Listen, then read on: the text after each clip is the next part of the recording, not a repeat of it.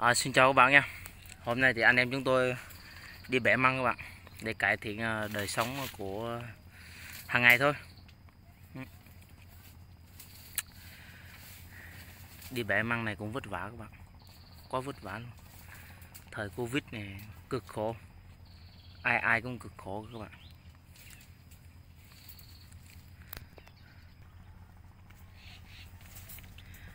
Lên đây nghỉ ngơi đi Hiếu ơi. Qua đây luôn đây, thằng em của tôi này thằng em này đẹp trai.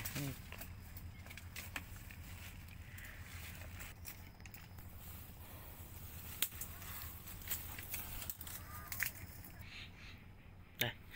Tại vị trí này là có mấy hòn đá cũng bự lắm ạ. Nhìn nó cũng, kiểu nó cũng hầm hố lắm. Mọi nhìn. Đi hầm hố. Hôm nay là đi vùng đất mới các bạn mỗi mỗi khi đi vùng nước mới, bữa nay đi vùng nước mới. À. này mà nó mà động đất khoảng 5 độ Richter chắc mấy tảng đá này nó sụp hết không à vùng đất mới. Quang ơi! Lên chú!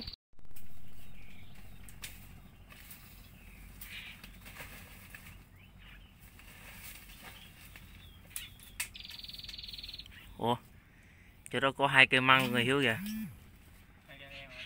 Hả? Đâu kìa? Hả? Anh cũng không thấy, quang thấy. Rồi, xin.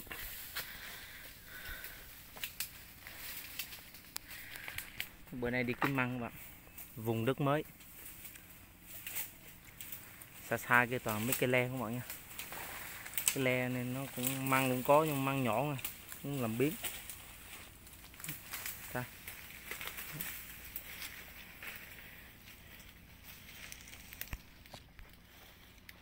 dưới này có thằng em nè. Tôi đang ở trên ờ, tảng đá các bạn.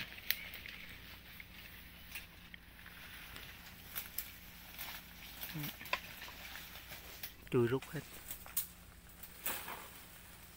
dưới đó không có hả? À.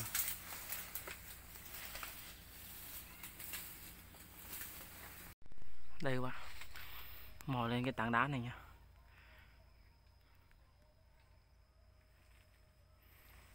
Máy nó không có rõ lắm, các bạn thông cảm nha. Nó hơi rung các bạn thấy cái gốc mai không? Đó. Một mai nhìn quá đẹp. Mọc trên tảng đá luôn nha các bạn nha. Đó. thấy không? Chắc 10 năm nữa chắc cái cây mai này nó chắc bằng cái cùm giờ nó to hơn cái ngón chân nữa các bạn nha. Chắc 10 năm nữa cho nó không biết nó to bằng cái cùm tay không nữa. Sức sống rất là mạnh liệt các bạn. Mà những cái loại mai như thế này thì cái giá trị uh, về kinh tế về nghệ thuật về tất từng tật thì nó rất là cao nha. Các bạn theo đó, tảng đá lớn này.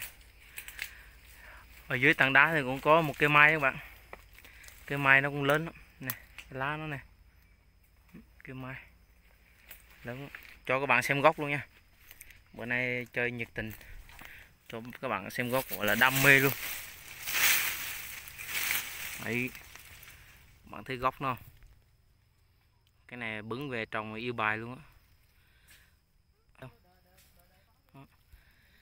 Thôi cứ đi trước đi tin anh theo sau.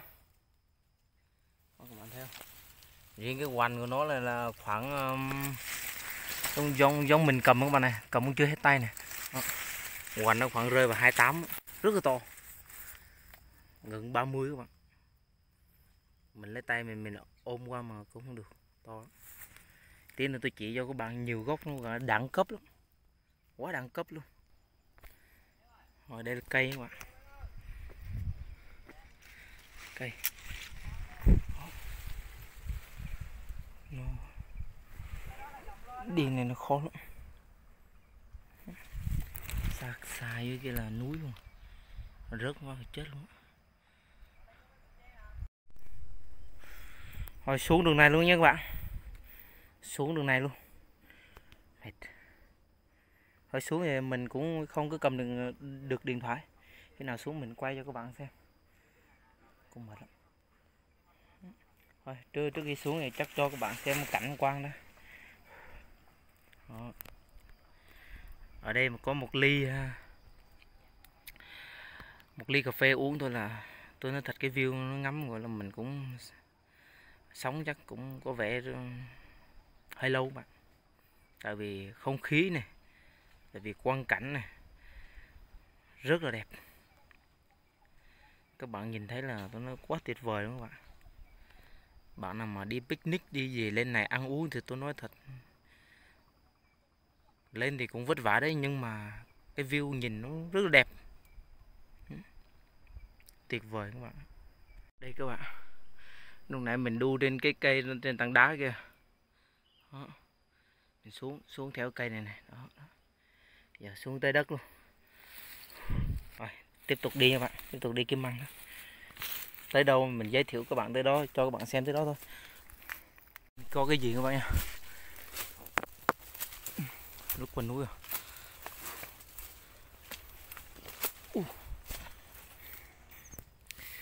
Đi mãi trên đỉnh các bạn. Mãi đỉnh trên đỉnh thì nó cũng có một cái bãi bằng. Bạn thấy bãi bạn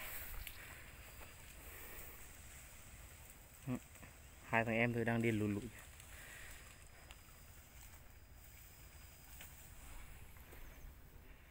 bảy bằng các trên này nó kiểu giống như một sân banh lớn. Bữa nay cũng im gió nha các bạn. Cũng không có gió ra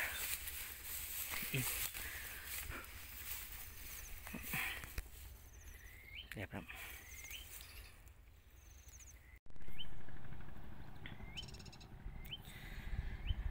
Mấy cái ngôi nhà trắng trắng này là khu du lịch Oceanomi các bạn. Khu du lịch năm sao. Vào khu du lịch này thì à, rất là đẳng cấp nha các bạn. Này rất là đẹp.